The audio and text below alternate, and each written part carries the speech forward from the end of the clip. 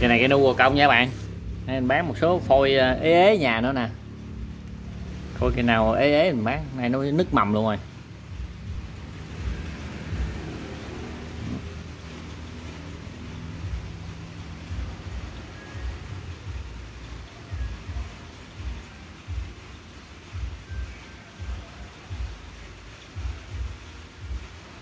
Cái này mốt mình lấy mặt tiền bên đây nè.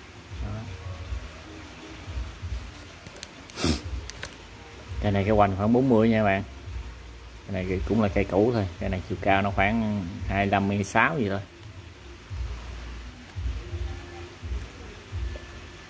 Dưới góc này chụp khoảng 40 cân mới rẻ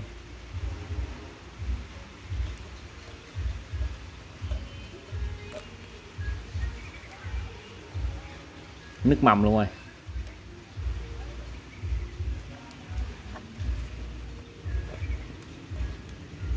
Dạ mấy xị có anh em nào mua được ủng hộ giảm dạ, gì nào anh em à? Hồi nay mình bán một số phôi ấy, hôm nay mình bán mấy cây nhà không bạn ơi? Rồi mình à, làm cây nhà, bán cây nhà mình giao không à? Chứ ít đăng cây rồi quá. Như là mình ít đi lấy cây nữa.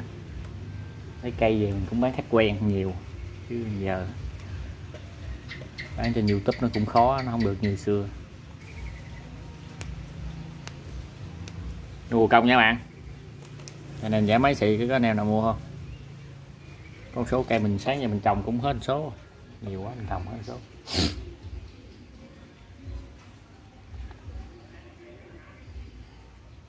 Mua công nha bạn.